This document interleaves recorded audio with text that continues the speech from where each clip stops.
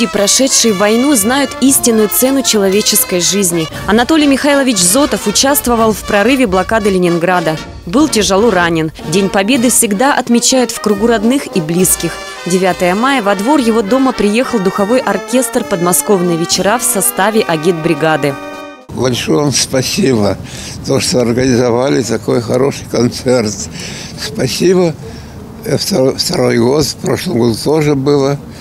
Нас не забывают ветеранов. Видимо, есть за что вспоминать.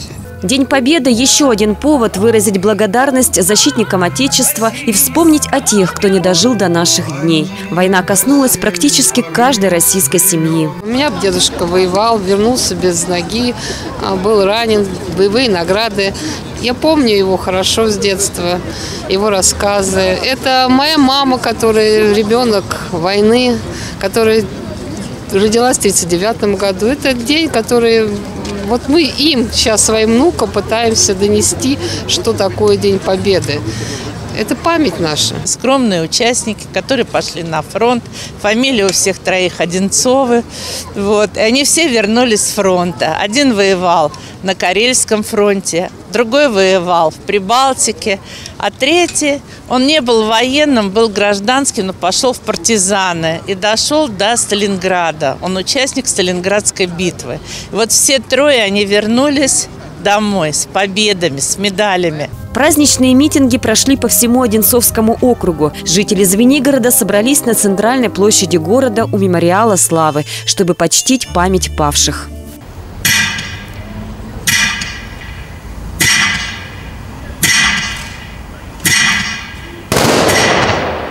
День Победы – это, конечно, особенный день. Здесь проходила линия фронта.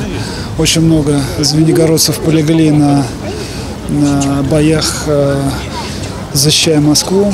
И вот, конечно, сегодня вот мы здесь в Звенигороде отдаем дань памяти вот всем, всем героям. Поэтому всех поздравляю, помните об этом великом подвиге и уверен, что он будет жить э, в наших детях, в наших внуках, в наших правнуках вечно, как, как самый главный праздник. Самые кровопролитные бои шли на территории села Ершова и окрестных деревень. Оккупанты сожгли их почти дотла, но жители не сдались, а потом пришли освободители. Фашисты в Ершово были практически 10 дней. 2 декабря 1941 года они вошли сюда, и 11 декабря они ушли из Ершова в связи с тем, что в районе Николиной горы началось контрнаступление советских войск в битве под Москвой. Сегодня здесь, на центральной площади в селе Ершова, установлен памятник «Слава воинам России» – место поклонения и скорби.